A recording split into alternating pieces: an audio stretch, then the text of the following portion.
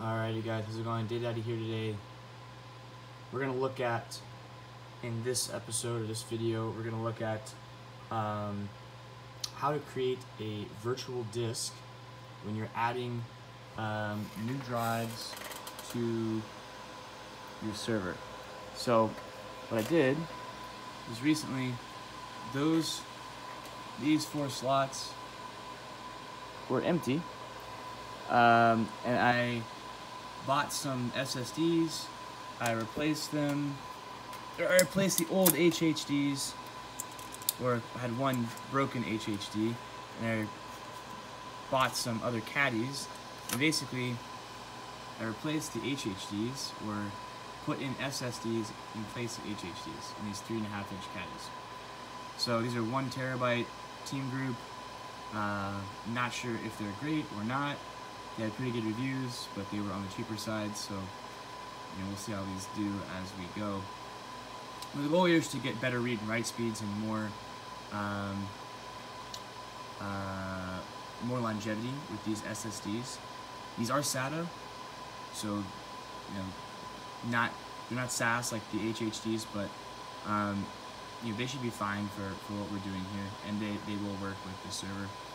Um, so anyway, um, just want to show you what we're working with. So that these four um, caddies, these four bays on the other side have SSDs in them. And we're going to create a separate virtual disk for all of those with a RAID 0 configuration um, for greater speed. So that's really all, all we care about um, with those. And eventually I'm going to turn all of these into uh, SSDs and all RAID 0 for speed and performance, uh, and then just have everything backed up uh, nightly to uh, a NAS. So that's the idea really long term, but for now, let's figure out how to create uh, a virtual disk here. So bear with me, I'm trying to figure out how to set this thing so you guys can see. All right, cool. So we're gonna reboot here. And bear with me, this does take a moment. All right, so at this point, we're gonna wanna press F2 so we can enter system setup. And then we're gonna look for Control R. You just go ahead and start hitting Control R. And cool, that's gonna take us to um, the BIOS configuration utility. So, alright, so as you can see, I already have um, one virtual disk, and this is for all the HHDs. The, the first four bays are uh, HHDs in a RAID 10 configuration. So this is basically for more long-term storage and redundancy uh, until I can get the NAS set up. But I'd really like faster read and write speeds, so I'm going to configure these four other disks I just set up, so these unconfigured physical disks here. Uh, these are those SSD, the one terabyte SSDs I was talking about. So we're going to configure these as a separate virtual disk uh, with RAID 0. So what we're going to do is come up here, and you know, for me it's F and F2, but we're just going to hit F2 so that we can open the options and then create, create new virtual drive. It's already set as RAID 0, but you know, if you'd like, you can do other configurations, RAID 1, 5, 6, 10. Um, so, but for me in this case, I want the most performance. I don't care about, um, I don't care about any uh, data redundancy or anything like that. So I'm gonna set it as RAID 0. Um, and then I'm going to just go ahead and click through saying I, am specifying that I want these these drives included, these physical drives included. So um, that's basically saying mapping the bay to the position that they are in, in the virtual disk. So you have four mapped to zero, five mapped to one, six mapped to two, seven mapped to three. You, get, you guys get the idea. Okay, so that's just telling us the size.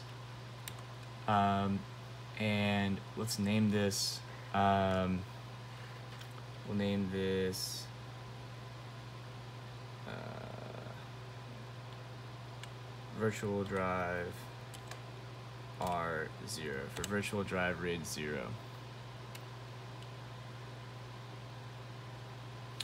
And we'll hit OK. That's fine.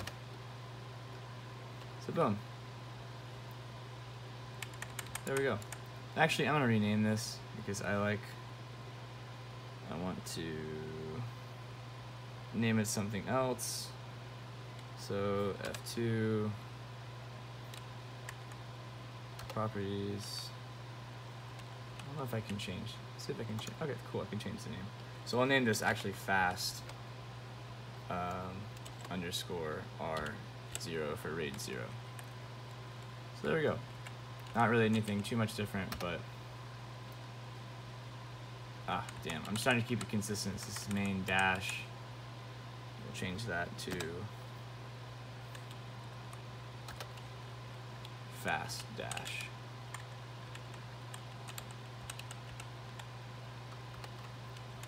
I guess I have to delete it all. Fast dash R zero zero. All right, cool. Sorry about that, guys. I just want to keep my naming consistent. All right, so there we go. We have um, two different virtual disks now. So all of my SSDs are now configured in a virtual disk. And then I have um, the long-term RAID 10 uh, HHD storage as one virtual disk. So there we go. We have now configured uh, a new virtual disk and we can hit escape. And yes, we're sure we want to exit. And then we will reboot and then once it reboots, the uh, drive should be recognized and we should be able to use them. So we'll reboot and I'll show you guys what it looks like. Notice it says two virtual drives now. So that's a good sign.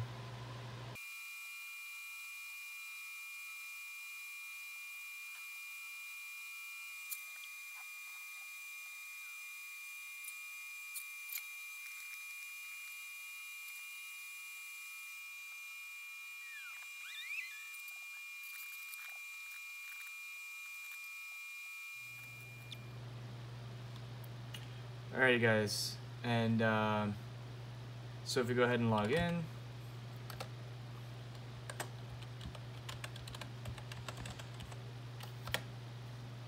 okay, and if we go to the root directory, well actually, better, let's just do this, df-h, this just shows us what memory we have. We can see now that we have um, two different drives. We have an SDA2 and SDA1. So that's what we should see. Um, Alrighty guys, that about does it for today. Uh, if you like the content, please consider giving me a like and a subscribe so I continue to grow and produce better and better content for you. And if you really like the content, you might even consider buying me a coffee. And the information pad to do that will be in the video description.